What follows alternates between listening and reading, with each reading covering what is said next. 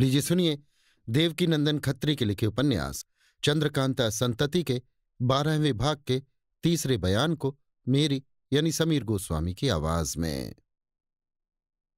जिस समय भूतनाथ ने बलभद्र से ये कहकर कि तेरे हाथ की लिखी हुई वे चिट्ठियाँ भी पास मौजूद हैं, जिनकी बदौलत बेचारा बलभद्र सिंह अभी तक मुसीबत झेल रहा है, भैरव सिंह की तरफ़ अय्यारी का बटुआ लेने को हाथ बढ़ाया, उस समय तेज सिंह को विश्वास हो गया कि बेशक भूतनाथ बलभद्र सिंह को दोषी ठहरावेगा। मगर भैरव सिंह के हाथ से अय्यारी का बटुआ लेने के बाद भूतनाथ ने कुछ सोचा और फिर तेज सिंह की तरफ़ देखकर कहा, नहीं, इस समय मैं उन चिट्ठियों को नहीं निकालूँगा, क्योंकि ये झट इनकार कर जाएगा और कह देगा कि ये चिट्ठियाँ मेरे हाथ की लिखी नहीं। आप लोगों को इसके हाथ की लिखावट देखने का मौका अभी तक नहीं मिला है। बलभद्र सिंह, नहीं नहीं, मैं इनकार न करूँगा। तो कोई चिट्ठी निकाल के दिखा तो सही। भूतनाथ।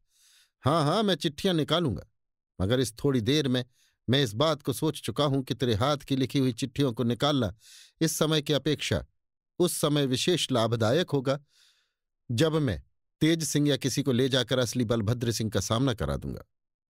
तेज सिंह से, कहिए आप मेरे साथ चलने के लिए तैयार हैं या किसी को साथ भेजेंगे? तेज सिंह, इस बात का फैसला कमलिनी या लक्ष्मी देवी करेंगी। मैं तुमको पुनः इस मकान में चलने की आज्ञा देता हूँ। मगर साथ ही साथ ये भी कह देता हूँ कि देखो भूतनाथ, तुम बड़े बड़े जुर्म कर चुके हो और इस समय भी अपने हाथ की लिखी हुई चिट्ठियों से इनकार नहीं करते। मगर अब मैं देखता हूँ कि तुम पुनः कोई नया पातक किया चाहते हो।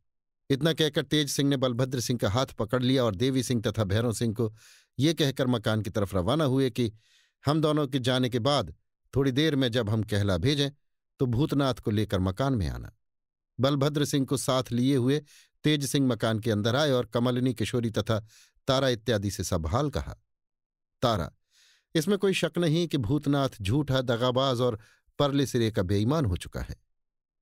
तेज सिंह, बेशक ऐसा ही है, मगर इस समय हम लोगों को सबसे पहले उसी बात का निश्चय कर लेना चाहिए, जिसके बारे में लक्ष्मी देवी ने इशारा किया था। कमलनी, ठीक है बलभद्र सिंह की तरफ़ देख के। आप बहुत सुस्त और पसीने पसीने हो रहे हैं। अतएव कपड़े उतार कर आराम कीजिए और ठंडे होइए। बलभद्र सिंह, हाँ, मैं भी यही चाहता हूँ। इतना कहकर बलभद्र सिंह ने कपड़े उतार डाले।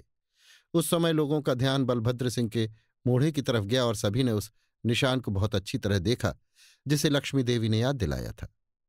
कमलनी, खुशी से बलभद्र सिंह का हाथ पकड़ के और लक्ष्मी देवी की तरफ़ करके। देखो बहन, ये पुराना निशान अभी तक मौजूद है। ऐसी अवस्था में मुझे कोई धोखा दे सकता है? कभी नहीं। बलभद्र सिंह, हंसकर, इस निशान को लाड़ली अच्छी तरह पहचानती होगी, क्योंकि इसी ने बीमारी की अवस्था में दांत काटा था। लंबी सांस लेकर। अफसोस, आज और उस जमाने के बीच में ज़मीन आसमान का फ़र्क पड़ गया है। ईश्वर तेरी महिमा कुछ कही नहीं जाती।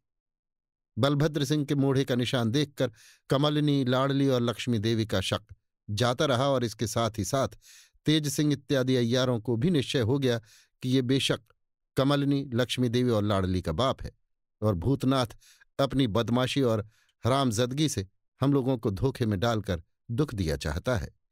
थोड़ी देर तक बाप बेटियों के बीच में वैसी ही मोहब्बत भरी बातें होती रहीं, जैसी कि बाप बेटियों में होनी चाहिए और बीच ही बीच में अय्यार लोग भी हाँ नहीं, ठीक है, बेशक इत्यादि करते रहे। इसके बाद इस विषय पर विचार होने लगा कि भूतनाथ के साथ इस समय क्या सलूक करना चाहिए। बहुत देर तक वाद विवाद होने पर यह निश्चय ठहरा कि भूतनाथ को कैद कर रोहतासगढ़ भेज देना चाहिए, जहाँ उसके किए हुए दोषों की पूरी पूरी तहकीकात समय मिलने पर हो जाएगी। हाँ लगे हाथ उस कागज़ की मुट्ठी को अवश्य पढ़कर समाप्त कर देना चाहिए, जिससे भूतनाथ की बदमाशियों तथा पुरानी घटनाओं का पता लगता है। तथा इन सब बातों से छुट्टी पाकर किशोरी, कामनी, लक्ष्मी देवी, कमलनी और लाडली को रोहतासगढ़ में चलकर आराम के साथ रहना चाहिए। ऊपर लिखी बातों में जो तय हो चुकी थी। कई बातें कमलिनी की इच्छानुसार न थीं, मगर तेज सिंह की जिद से, जिन्हें सब लोग बड़ा बुज़ुर्ग और बुद्धिमान मानते थे, लाचार होकर उसे भी मानना ही पड़ा। तेज सिंह उसी समय कमरे के बाहर चले गए और जफील बजाकर देवी सिंह तथा भैरव सिंह का अपनी तरफ़ ध्यान दिलाया। जब दोनों अय्यारों ने इधर देखा तो तेज सिंह ने कुछ इशारा किया, जिससे वे दोनों समझ गए कि भूतनाथ को कैदियों की तरह बेबस करके मकान के अंदर ले जाने की आज्ञा हुई है। देवी सिंह ने ये बात भूतनाथ से कही। भूतनाथ ने कुछ सोचकर सिर झुका लिया और तब हथकड़ी पहनने के लिए अपने दोनों हाथ देवी सिंह की तरफ़ बढ़ाए। देवी सिंह ने हथकड़ी और बेड़ी से भूतनाथ को दुरुस्त किया और इसके बाद दोनों अय्यार उसे डोंगी पर चढ़ाकर मकान के अंदर ले आए। इस समय भूतनाथ की निगाह फिर उस कागज़ के मुट्ठे और पीतल की संदूकड़ी पर पड़ी और पुनः उसके चेहरे पर मुर्दनी छा गई। तेज सिंह, भूतनाथ, तुम्हारा कसूर अब हम लोगों को मालूम हो चुका है।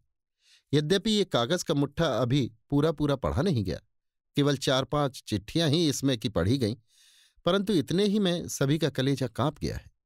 निस्संदेह, तुम बहुत कड़ी सजा पाने के अधिकारी हो अतः तुम्हें इस समय कैद करने का हुक्म दिया जाता है। फिर जो होगा देखा जाएगा। भूतनाथ, कुछ सोचकर। मालूम होता है कि मेरी अर्जी पर किसी ने ध्यान नहीं दिया और इस बलभद्र सिंह को सभी ने सच्चा समझ लिया। तेज सिंह, बेशक बलभद्र सिंह सच्चे हैं और इस विषय में अब तुम हम लोगों को धोखा देने का उद्योग मत करो।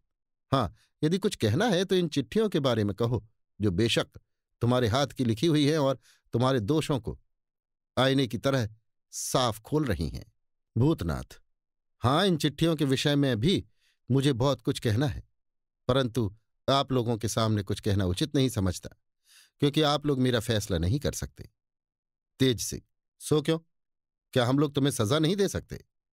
भूतनाथ, यदि आप धर्म की लकीर को बेपरवाही के साथ लांघने से कुछ भी संकोच कर सकते हैं तो मेरा कहना सही है, क्योंकि आप लोगों के मालिक राजा बीरेंद्र सिंह मेरे पिछले कसूरों को माफ़ कर चुके हैं और इधर राजा बीरेंद्र सिंह का जो जो काम मैं कर चुका हूँ, उस पर ध्यान देने योग्य भी वे ही हैं। इसी से मैं कहता हूँ कि बिना मालिक के कोई दूसरा मेरे मुकदमे को नहीं देख सकता। तेज सिंह, कुछ देर तक सोचने के बाद, तुम्हारा कहना सही है। खैर, जैसा तुम चाहते हो, वैसा ही होगा और राजा साहब ही तुम्हारे मामले का फैसला करेंगे। मगर मुजरिम को गिरफ़्तार और कैद करना तो हम लोगों का काम है। भूतनाथ, बेशक कैद करके जहाँ तक जल्द हो सके, मालिक के पास ले जाना ज़रूर आप लोगों का काम है। मगर कैद में बहुत दिनों तक रखकर किसी को कष्ट देना आपका काम नहीं, क्योंकि कदाचित वो निर्दोष ठहरे जिसे आपने दोषी समझ लिया हो। तेज सिंह, क्या तुम फिर भी अपने को बेकसूर साबित करने का उद्योग करोगे? भूतनाथ, बेशक मैं बेकसूर बल्कि इनाम पाने योग्य हूँ, परंतु आप लोगों के सामने जिन पर अक्ल की परछाई तक नहीं पड़ी है, मैं अब कुछ भी ना कहूँगा। आप ये ना समझिए, मैं केवल इसी बुनियाद पर अपने को छुड़ा लूँगा कि महाराज ने मेरा कसूर माफ़ कर दिया है। नहीं, बल्कि मेरा मुकदमा कोई अनूठा रंग पैदा करके मेरे बदले में किसी दूसरे ही को कैद खाने की कोठरी का मेहमान बनावेगा तेज सिंह, खैर मैं भी तुम्हें बहुत जल्द राजा बीरेंद्र सिंह के सामने हाजिर करने का उद्योग करूँगा। इतना कहकर तेज सिंह ने देवी सिंह की तरफ़ देखा और देवी सिंह ने भूतनाथ को तहखाने की कोठरी में ले जाकर बंद कर दिया। इस काम से छुट्टी पाकर तेज सिंह ने चाहा कि किसी अय्यार के साथ भूतनाथ और भगवनिया को आज ही रोहतासगढ़ रवाना करें और इसके बाद कागज़ के मुट्ठे को पुनः पढ़ना आरंभ करें। मगर उन्हें शीघ्र ही मालूम हो गया कि कोई अय्यार तब तक भूतनाथ को लेकर रोहतासगढ़ जाना खुशी से पसंद न करेगा, जब तक भूतनाथ की जन्मपत्री पढ़ या सुन न लेगा। अस्तु तेज सिंह की यही इच्छा हुई कि लगे हाथ, सब कोई रोहतासगढ़ चले चले और जो कुछ हो, वहाँ ही हो। अंत में ऐसा ही हुआ। अर्थात तेज सिंह की आज्ञा सभी को माननी पड़ी।